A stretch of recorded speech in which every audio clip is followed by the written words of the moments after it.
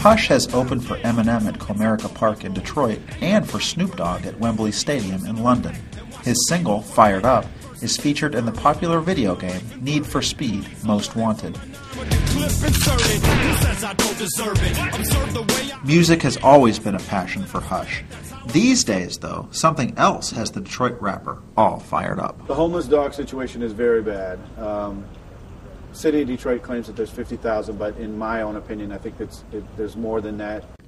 Detroit is facing a stray dog epidemic, the result of the city's crushing poverty. Owners unwilling or unable to pay and care for their dogs have been letting them loose, and dogs are routinely discarded after being forced to fight. Enter Hush and his buddies at Detroit Dog Rescue, who cruise the streets every day looking for strays. On this day, they have their sights set on a pit bull roaming an east side neighborhood. Chasing this brown pit.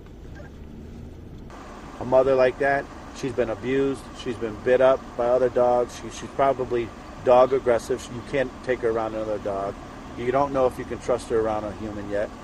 Unlike other nonprofits and government agencies that deal with strays, none of the dogs rescued by Hush's group have been euthanized.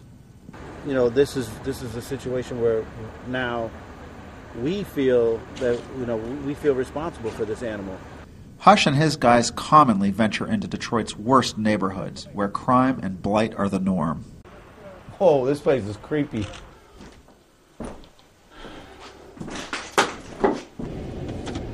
My dad always says that you're gonna find a dead body in one of those places one day. Like I'm waiting. They didn't find any bodies this day, just more dogs. Good girl. Hi, Mama. There are an overwhelming number of dogs that need help on any given day, but Hush and Company are taking it one pooch at a time. Mike Householder, The Associated Press, Detroit.